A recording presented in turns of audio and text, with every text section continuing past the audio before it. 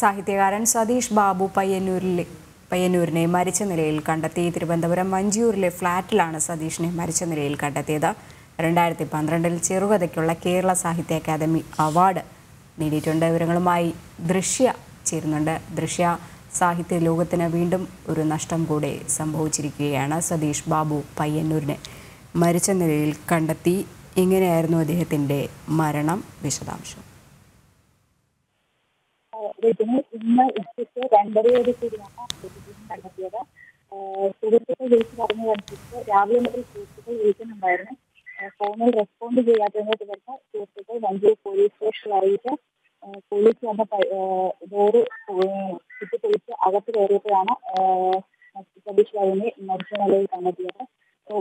ആഹ് കിടക്കുന്ന നിലയിലായിരുന്നു മൃതദേഹം ഉണ്ടായിരുന്നത്.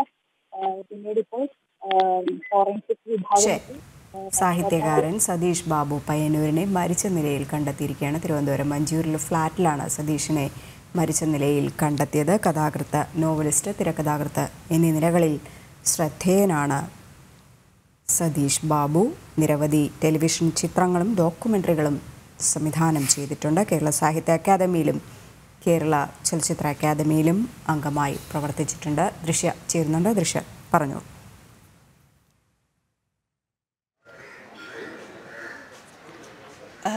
രജനി ഫോറൻസിക് വിഭാഗം എത്തി പരിശോധന പരിശോധന നടത്തിക്കൊണ്ടിരിക്കുകയാണ്. സിറ്റി പോലീസ് കമ്മീഷണർ സ്പർജൻ കുമാറിന്റെ നേതൃത്വത്തിലുള്ള സംഘമാണ് പരിശോധന നടത്തിയത്. കൂടുതൽ വിശദാംശങ്ങൾ പരിശോധനയ്ക്ക് ശേഷമേ പറയാൻ കഴിയുമെന്നാണ് ഇപ്പോൾ അറിയിച്ചിരിക്കുന്നത്.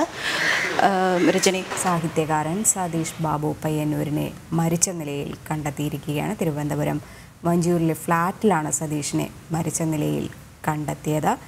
രണ്ടായിരത്തി പന്ത്രണ്ടിൽ ചെറുകഥയ്ക്കുള്ള കേരള സാഹിത്യ അക്കാദമി അവാർഡ് നേടിയിട്ടുണ്ട് കഥാകൃത്ത് നോവലിസ്റ്റ് എന്നീ നിലകളിൽ പ്രശസ്തനാണ് അദ്ദേഹം.